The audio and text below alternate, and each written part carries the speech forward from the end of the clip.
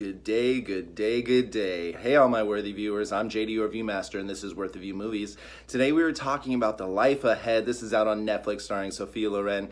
It has Oscar buzz for her, and I see why. This is a movie, uh, she's a Holocaust survivor who uh, takes in a boy um, and babysits him, uh, even though he just stole from her, and, and uh, he's a thief on the streets. His name is Momo. Uh, he is a prostitute's uh, spawn, and uh, she left him. So now he has nowhere to go. So he stays with Sophia Loren, and they obviously, uh, you know, butt heads a lot because he had stolen from her.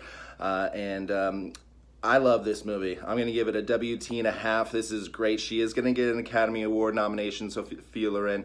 The chemistry that these two have is just so sweet and so loving. Uh, this is a really good story. It's an international film. It might even be up for Best International Picture. We'll wait and see this Oscar season. But for now, you guys, check out The Life Ahead. It's on Netflix. It's worth the